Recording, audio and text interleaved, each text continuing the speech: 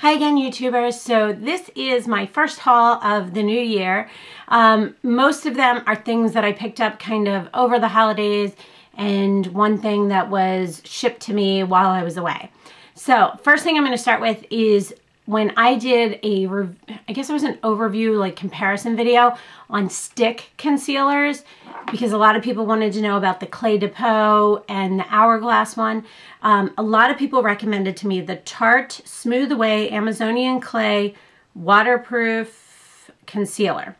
And this is what it looks like, and it is a smaller concealer stick than normal, than you would normally see. It's much smaller this way. Um, but I did pick this up because I was in a Sephora and I was like, okay, I'll give it a shot. And I really and truly have been loving it. I've been using it every day. You can see how much I've already gone through. I picked it up in the color light and it's really smooth. It's very pigmented, very nice product so far. I have it on today. Um, I don't have a whole lot on, but I'm really liking it and I'm definitely enjoying it. The only draw, I don't remember the price. I'll put all the prices on my blog. The only drawback to me is that the size is smaller. Also, while I was in, while I was in there, um, I'd seen a video by, I think it was Lisa Lisa D1 on a YSL palette. It had five colors in it and it was called number three. I think uh, I actually picked it up, but it's, um, where is it say? I don't know, but it was like number three. Yeah, it does have the number three on it. But, so I went in the store, saw it there. I was like, perfect, I'm going to pick it up. I picked it up. It was the when I got home, I never opened the box. It was behind the number three. I took it home. It said number three on the top. I never looked at it. There are ones that are five colors, and then there are ones that are four colors. And they just have numbers on them. For some reason, when I got home, somebody must have put the number three four color palette behind the number five one. So when I got home, it was like blues and something else, which were colors that I wasn't going to use. So I still have that. I have to take that back. But, um, so then I went back another time when I was in there to pick up, oh, sorry, I forgot one thing, uh, to pick up the correct one. And it is the five color harmony for eyes in number three. And this is what it looks like. And they're beautiful, beautiful colors. They're gorgeous. They're just so pretty and they're all, they all have a shimmer to them, but they're great for colors for blue eyes. Like they're just beautiful, beautiful colors for blue eyes. Oops. They come with little sponge tip applicators, which I don't really use, but um, packaging is very pretty. It's the first YSL um, eyeshadow palette that I've owned. So, uh, and while I was in there, I had a sample of this and I had tried it and I really loved it um, for a while. I talked about it in my Malé mascara video and I had used it for quite some time. And then when I ran out, I went, and it was a sample size. Then when I ran out of the sample, I went to the Diorshow primer type product and I just didn't like it. So while I was in Sephora, I picked up the one that I had the sample of that I really liked. And it is the Lancome Cils Booster XL. This is what it looks like and it is just a mascara primer kind of product. Um, typical mascara wand, so easy to apply. It doesn't get sticky, it doesn't get gunked up, it doesn't get clumpy. It just is a really nice product that I like with all of my mascaras.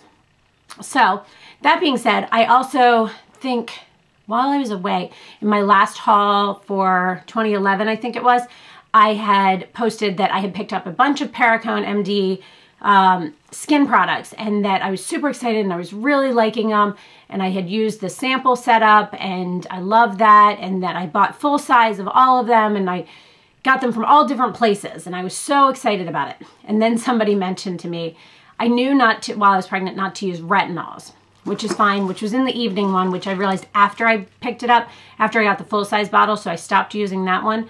But in the meantime, somebody mentioned to me the Perricone MD has um, something in it called DMAE, and I can't even say what that is, but you can see it on his website. It's talked about if you just Google his products, and it's supposedly a very similar item, but different to retinols. So people had told me, a couple people had commented to me, which I'm very thankful for, that I should do some research and check and see if that's safe for pregnancy because you know, there wasn't much research yet on it and people weren't sure and this, that, and the other. So I did some research on it and I also called my doctor to double check with her and asked her what her thoughts are on it. It took her a couple days to get back to me um, because they had trouble finding information on the product uh, that's in there. And so what we kind of concluded is there is no set research that states if there are any issues.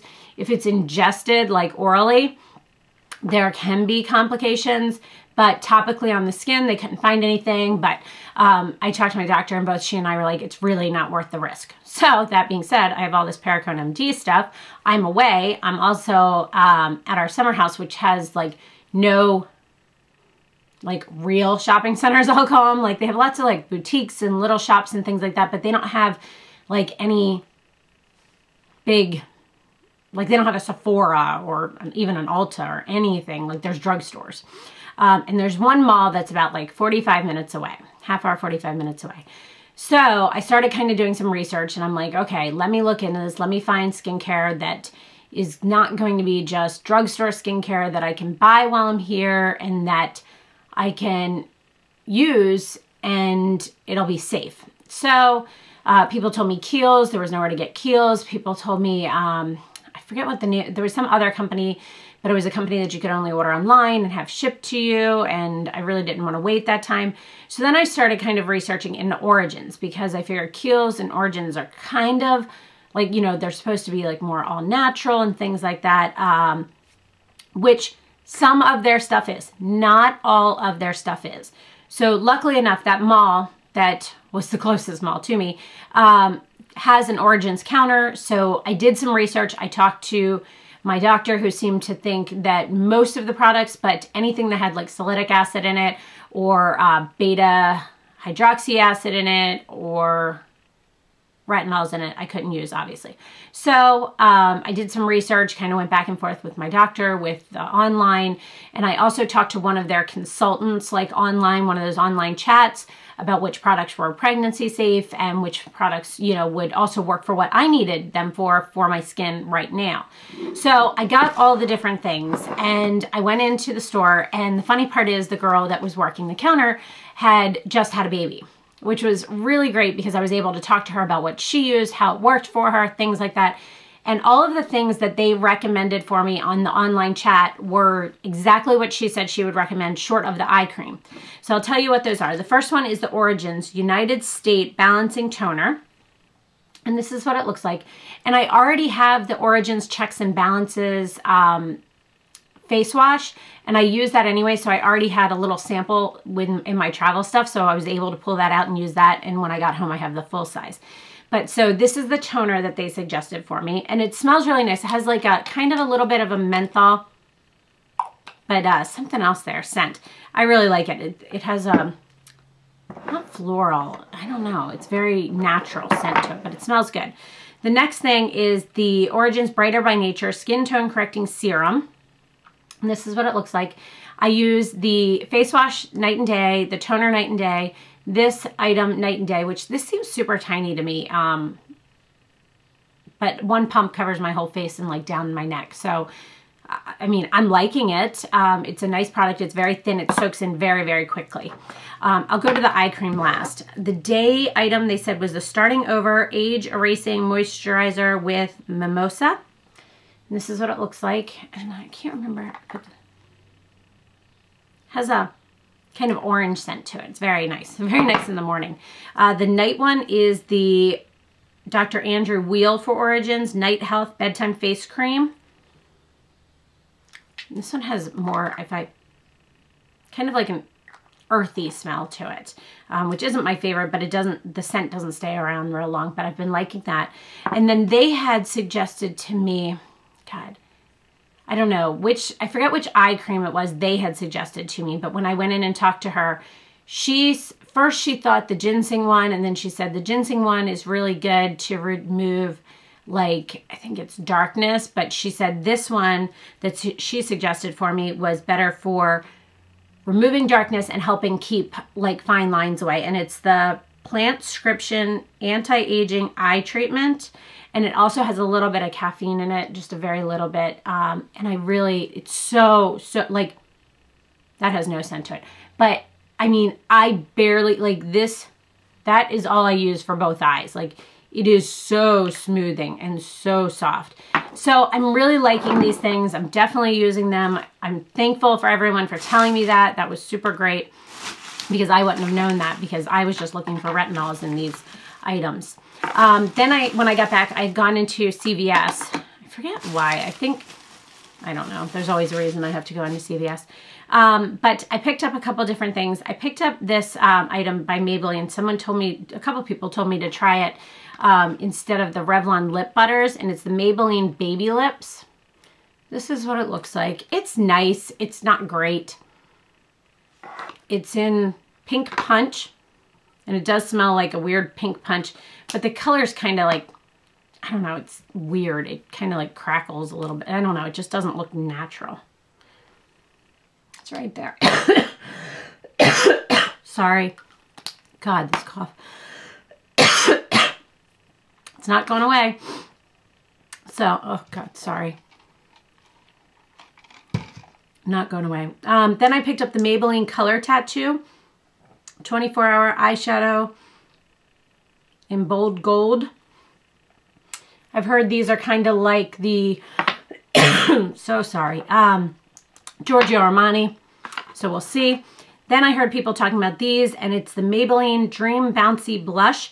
I picked up color 15, Rose Petal, and 40 Pink Plum. This is what they look like. I think they're supposed to be replacing these Dream Mousse blushes, which I really loved this one in Peach Satin. I tried this um, just one day randomly. I got up and put a little bit on. They're very weird. It's kind of like putty. It's very strange. So I'll have to play with those. Um, last part is, is the, I got home and I had a package um, and it was my New Beauty test tube. This is what it looks like, the box that it came in.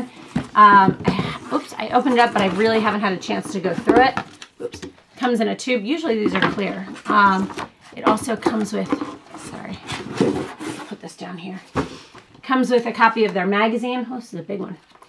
I also get the QVC test tube, um, but I haven't gotten that one yet. They usually come in at different times, which is a little bit. Um, all right, so let's see here. First thing is first in the test tube. The test tube is $29 before shipping every three months. This is the Intensive Peptide Skin Recovery Complex.